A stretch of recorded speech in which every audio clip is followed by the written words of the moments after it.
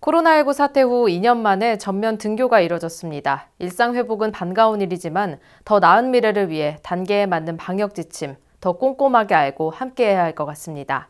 달라진 생활 속 일상 회복 단계와 관련된 정보를 경기 GTV가 Q&A 형식으로 정리해봤습니다.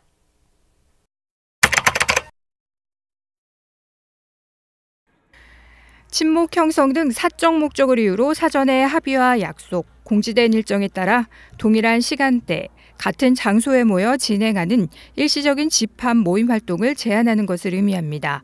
사적 모임 범위는 동창회, 동호회, 직장 회식, 중식 포함이고요. 온라인 카페 모임, 가족, 친구 등 친목 모임, 개모임, 집들이, 신년회 등과 같이 친목 형성을 목적으로 하는 모든 모임을 말합니다.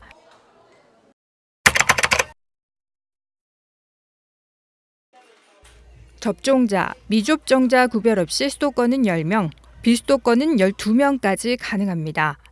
다만 식당과 카페의 경우 미접종자 이용 규모가 4명으로 제한돼 있다는 것 꼭 기억하시길 바랍니다.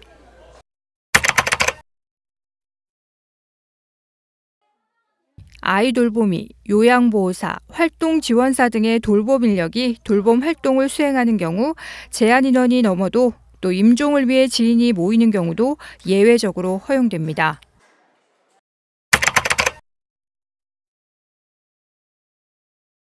가능합니다. 이사의 경우 친목 형성 목적이 아니므로 사적 모임에 해당하지 않기 때문입니다. 다만 이사 후 식사 등 친목 형성 목적의 모임이 이어지는 경우 사적 모임 제한 범위 내에서 가능하다는 점 알아두시죠.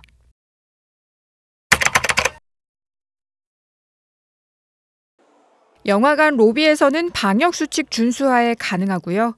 상영관 내 음식 섭취는 아직 안 됩니다. 이 부분은 2차 개편에서 해제를 검토할 예정입니다.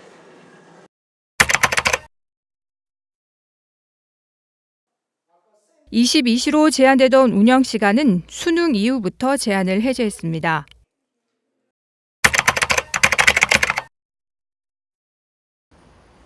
마스크를 착용하고 거리두기 기준을 준수하여 지정된 자리에서 찬송하는 것은 됩니다.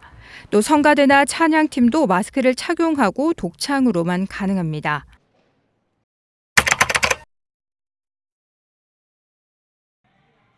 유흥시설과 노래 연습장, 목욕장업, 실내 체육시설 및 경마, 경륜, 카지노 같은 기타 시설과 감염 취약 시설로 분리된 의료기관, 요양병원 시설, 중증 장애인 치매 시설, 경로당, 노인복지관 등 고령층 이용 및 방문 시설도 포함됐습니다.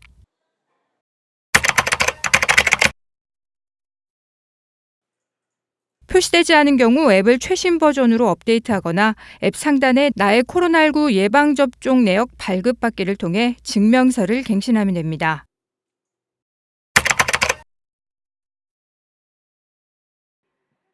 입원 요인이 없는 70세 미만 무증상 경증 확진자로서 재택치료의 제반 사항을 준수할 수 있으며 본인이 동의하는 경우에 가능합니다.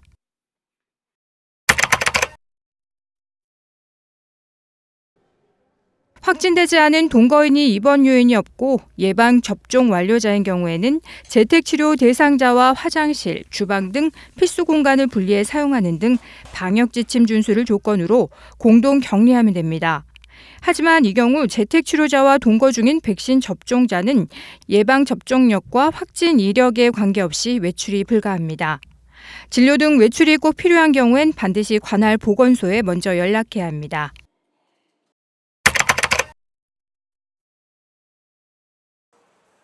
코로나19 경구용 치료제는 내년 2월부터 단계적으로 국내에 도입될 예정이라고 밝혔습니다. 다만 제약사별 임상실험 결과나 치료제 허가 승인 절차, 글로벌 공급 상황 등에 따라 일정은 변경될 수 있다는 설명입니다.